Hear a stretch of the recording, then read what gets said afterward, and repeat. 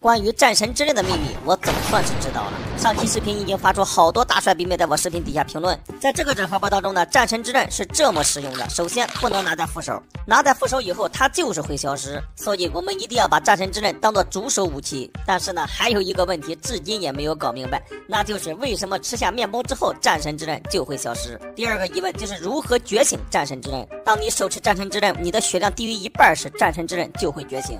并且给使用者附加一个失明的 buff。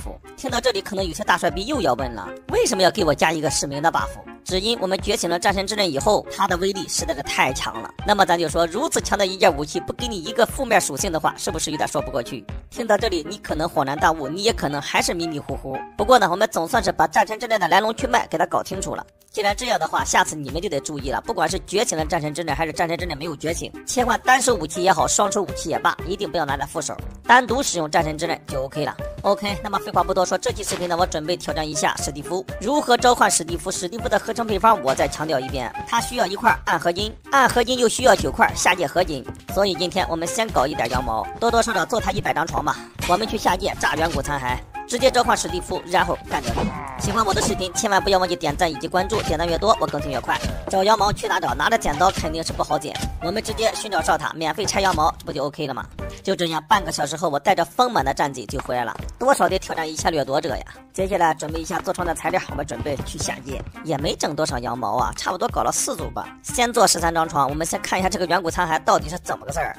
玩了这么长时间的 MC 啊，我真不骗你们兄弟们，这是我第一次在下界挑战用床来炸远古残骸。因为呢，这次需要的远古残骸的数量实在是太多了，之前用到的下界合金呢，最多也就五六块。这次我们就挑战一下，这么多的羊毛能不能炸够三十六块远古残骸。Two thousand years later，我这个人就是废话少，炸矿的整个过程我们完全省略，用时一个小时还剩二十几个羊毛，我一共炸到了三十一块远古残骸。不知道我拿出这个战绩，阁下该如何应对呢？我感觉还可以吧，好像确实是比挖矿快一点。那这三十一块远古残骸呢，肯定也不够，我们还需要小地图传送来寻找一下下界堡垒。像这种情况，那就得看脸了，不是所有的下界堡垒的宝箱内呢都有下界合金。当然了，我的脸肯定是非常白的嘛，得到一块下界合金呢也是简简单单。这样的话。召唤史蒂夫的材料呢？我们应该是够了。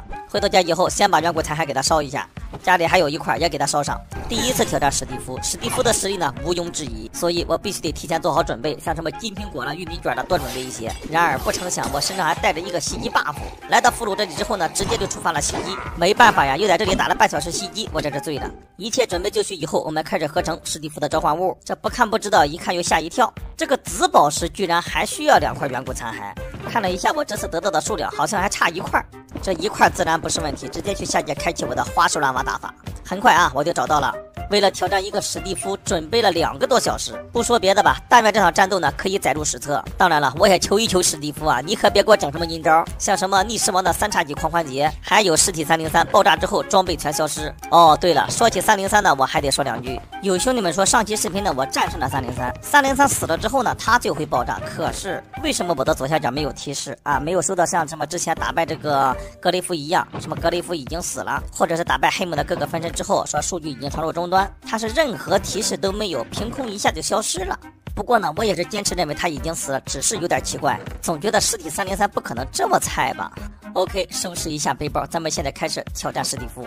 接下来，请你们欣赏我的手残瞬间。手里拿着史蒂夫的召唤物，我本想去开门，没想到一下不小心点到了召唤。当时不得不说啊，吓得我一裤兜的汗。毕竟看过犯错的兄弟们应该都知道，史蒂夫的实力那可是绝对的啊。点到了之后，为啥没有反应？好家伙，我这抬头一看，史蒂夫居然在我家的房顶上。那我也就直接传送上来。传送上来之后，你们看啊，这史蒂夫好像跟我不是敌对关系啊。这时候也请你们忽略我的副手战神之刃，因为这期素材呢录制的有些年头了，所以当时我还不知道啊这个。战神之刃不能拿在副手。言归正传，刚才我也是一剑成功调击史蒂夫的作战欲望。只不过你们看，即便是这样，史蒂夫好像根本就不打我。他来到沙漠之后，一顿哐哐乱跑。咱就说啊，兄弟们，人家不打你，你还要打人家，你是不是闲的？或者是你是不是有点太过分了？我感觉这个设定好像有点不太对头啊。虽然史蒂夫不是什么敌对生物吧，但是他这个设定应该也像 A 姐一样啊。你不打他，他不打你；你若打到他，他会全力反击。就像现在这样，他不反击我怎么打？从白天打到晚上，最后您猜怎么着？我就输入了一个指令，史蒂夫呢就不见了。前方就是一条大峡谷，不出意外的话，底下的僵尸苦力怕应该是吸引到他了。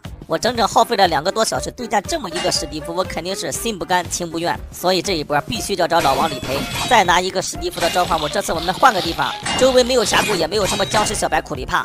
这次呢，果然好使，我就挠了史蒂夫一下，史蒂夫呢就开始反击了。然后我这一看，这好像不太对头啊，他为啥打我没有伤害？我输出，他打不着我。这个时候我好像恍然大悟了，兄弟们啊，有没有一种可能是这样的？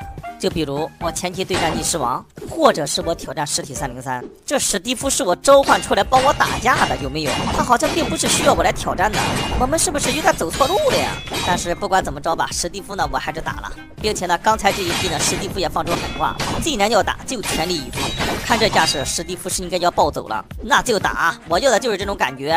可是整个战斗过程中呢，你们也应该能看到啊，史蒂夫并不会主动攻击。